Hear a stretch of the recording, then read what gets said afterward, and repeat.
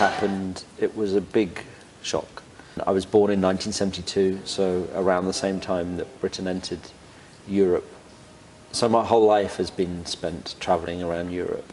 Many of the best things in my life have come about because of that. Falling in love, amazing architecture, incredible food, festivals, literature, music, musicians, film. And it feels like a giant collaboration, and that's what music is. And so I wanted to do something that celebrated that and stands up for the important things in life, which is love, friendship, kindness, imagination, creativity, risk.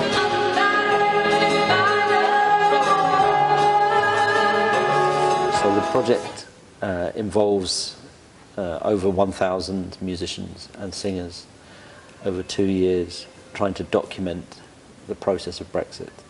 And then there's an album coming out on the day that we're supposed to leave the European Union in March. Um, but I think one of our jobs is imagining the future. I think that's the job of an artist. It's also that thing which politicians aren't the only people that get to decide what a country looks like, and they aren't the only people that get to decide how we interact. The cult of the individual has been really destructive politically in the UK, and also you see it in America with Donald Trump, um, where the individual becomes the focus for all the attention. And actually, we've worked a lot with uh, music students and the next generation, trying to make a, more of a democratic statement where everybody's equal. But you know, there's sorry, 80 people singing tonight, and for me, each of those people are special.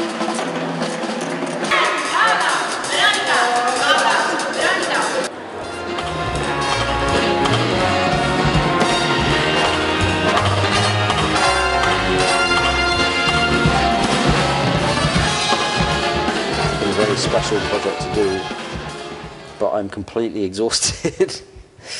And I have nothing, I have no plans after March 29th, 2019.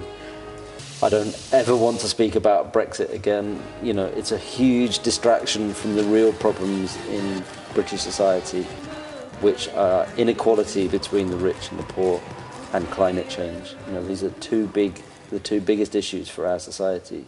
And Brexit does nothing for either. In fact, it probably makes it worse. Using your best paper aeroplane skills, try and get them to us over here.